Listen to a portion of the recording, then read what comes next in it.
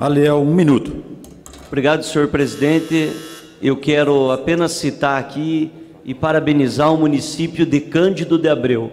Mais uma vez, a banda marcial do município, na última semana, conquistou um título sul-brasileiro entre bandas de fanfarras. É um município pequeno, mas um município aguerrido.